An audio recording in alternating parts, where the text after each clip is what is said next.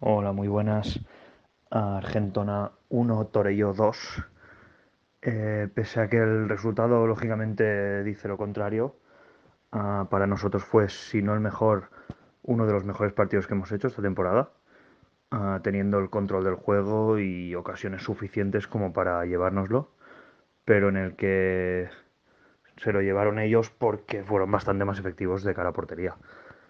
Ah, el partido empezó con un Torello que igual que nosotros quería tener el balón, pero que lo tenía de una manera muy estéril, sin generarnos prácticamente peligro, mientras que cuando la teníamos nosotros conseguíamos acercarnos a la portería rival con mucha facilidad y generando muchísima sensación de peligro, pese a que no estuvimos acertados de cara a puerta, sumando el grandísimo partido que hizo su portero, parando incluso un penalti en la segunda parte.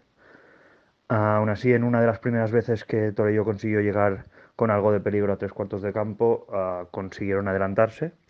Y no solo eso, sino que poco antes del descanso lograron marcar el segundo, que ya nos puso el partido muy cuesta arriba. La segunda parte, aunque nuestro nivel de juego bajó un poco, y de hecho lo intentamos con más corazón que cabeza, uh, tuvimos ocasiones de sobras como para igualar e incluso ganar el partido. Uh, como por ejemplo el ya comentado penalti e incluso un gol anulado al ver por una mano muy dudosa.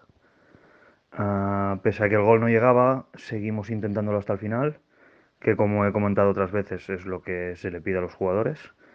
Y prueba de ello fue el gol que conseguimos marcar prácticamente en el último minuto, en una gran acción de Cristian, pero que ya fue demasiado tarde para que pudiéramos llevarnos algo.